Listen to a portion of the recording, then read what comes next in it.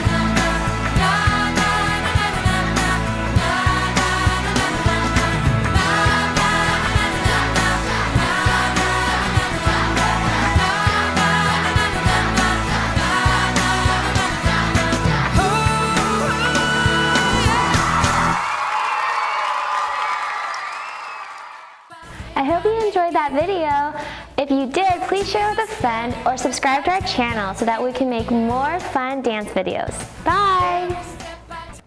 Welcome back from praise and worship. I hope you danced. Here we are dancing, competing. I think I won. I must be the one who won because my legs know how to dance. So, last time we learned about telling others what we have learned. We learned about Paul, who had a disciple called Timothy. Yes, you're right. He had a disciple called Timothy, and he told Timothy to go and teach others what he had learned. And that's what you were supposed to do. That means at school, at home, in the neighborhood, at church, everyone you met, you were supposed to tell them what you have learned in that week or from that lesson.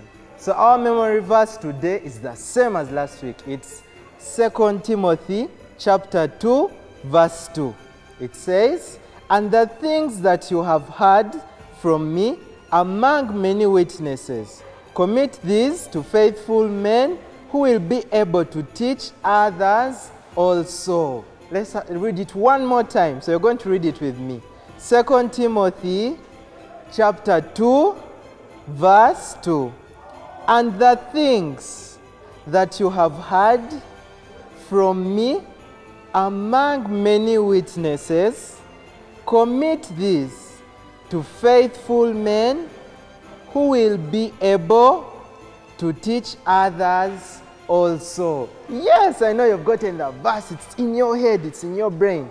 So we remember that we're supposed to teach others what we have learned. That means you must first learn something before teaching someone else. So here is an example. Can I give you a story? Do you want to hear stories? Hey, once upon a time, time, time, time, there was this boy. So imagine you are the boy. Just close your eyes and imagine you are the boy or you're the girl, and it's your birthday, and you're 12 years old, and then you get home and there's this big birthday party, and Apostle Moses is there, and Pastor B3 is there, and Pastor Angela is there, and everyone who you love so much is there. And then you decide, and then you see a very big cake. It's so big it can fit on a bed. Then you cut it, and it's time to share the cake. Because on birthdays, we usually share. I don't expect people to eat their cake alone. So when you cut that cake, you put it, you put it on a plate and cut into smaller pieces. And then you start to give it out. So as the birthday boy or birthday girl, you'll hold the plates and then call three, maybe three or five of your friends and hand them each one plate with so many pieces. And then tell your friends, help me give out this cake to everyone who has come. Of course, they'll first give Apostle Mose, then they'll give Pastor Ari, and then they give the pastors and your mommy and daddy and your friends and everyone else. But imagine your friend gets a plate of cake and then he just hides it under the table. How would you feel? You wouldn't feel good, you'll feel disturbed, you'll feel angry. Or imagine you're attending someone's birthday and the cake never reaches you. You would feel so sad. I would cry personally because I love cake. I cannot live without cake. So, whenever you receive something that's so good, you're supposed to share with others. So, when you have the cake and you want to hide it under your table, your friends will never taste that cake. Everyone will be hungry and annoyed. Everyone will complain and will be unhappy. But if you get that plate and share with others, everyone will have a piece People will compliment, they'll wish you a happy birthday, they'll enjoy the cake so much, they'll bring you more gifts next time, they'll bring you a bigger cake and bigger things. Why? Because you've decided to share what you have. And besides, if you're going to hide the whole plate of cake, you can't finish it alone. And if you keep it for long, it's going to get spoiled. It won't be useful anymore. So the best thing to do is to give the cake that is there for the birthday. So the birthday cake is supposed to be shared with everyone. The same thing applies to what we learn in church or in Harvest Kids or wherever you go and you learn something from the Bible. You're supposed to share what you learn so that it can be useful to others and to everyone. Remember one time we learned a lesson and it was from John in a certain chapter and a certain verse. and it was talking about Jesus asking Peter if he really loved him. And Peter said, Yes, I love you, Jesus. What did Jesus tell him? Feed my flock. And he said it three times. So if you're not feeding Jesus' flock, who are your friends, your neighbors, all the people you know, all the, all the people you see around you, that means you don't love Jesus. But I know you love Jesus. And I love Jesus too. And everyone here loves Jesus. So we are going to go out and feed his flock by sharing everything that we have learned and telling those people to share with their friends. I hope you've learned something. I hope you're ready to share. I hope you're ready to enjoy and go out and preach the gospel to others because they are waiting for it. And you may be here today, and this is the first time that you're hearing about Jesus. And you're so shocked. You're like, what is happening? What are these people doing? But today I want to give you the opportunity to become born again.